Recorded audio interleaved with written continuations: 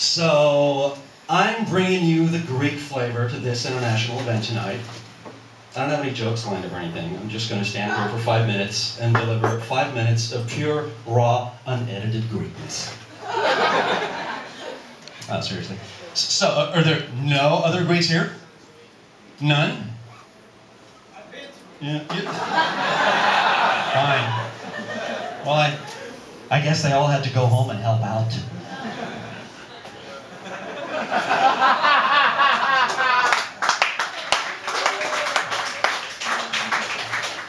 No, seriously, I, I gotta tell you, if you're gonna be an immigrant, be a Greek.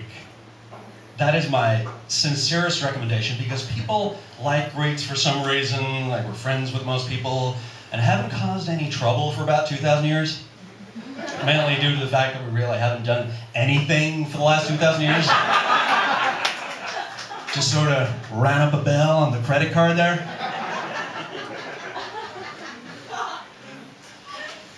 And it is, anybody been to Greece? Yeah. Wow.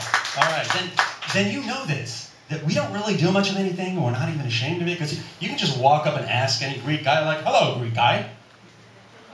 What are you doing? Nothing. I'm just killing time. All right, great. So you're killing time up until nothing. Because about 2,000 years ago, all Greeks got together and we said, Look, people, we invented democracy, philosophy, and the alphabet. But guys, we're done.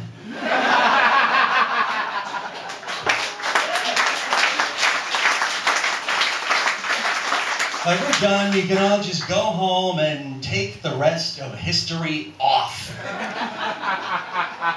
just don't work. Don't pay your bills. Who's to know?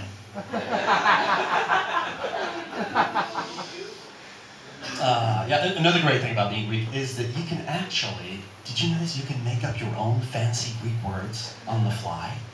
And nobody questions that. Like, I use that all the time at work. I'm speaking to my boss, I'd be like, well, as well you know, I am an accomplished matopithecus. which means illiterate ape. so you are well advised to pay attention to my copropotamy river of shit. but maybe the single greatest thing about being Greek is Greek salad. Did you realize that any salad I make is by definition Greek? And there's nothing you can do about it?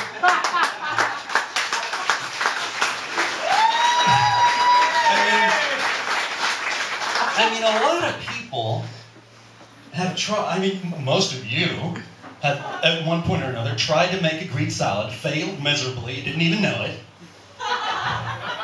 While I, on the other hand,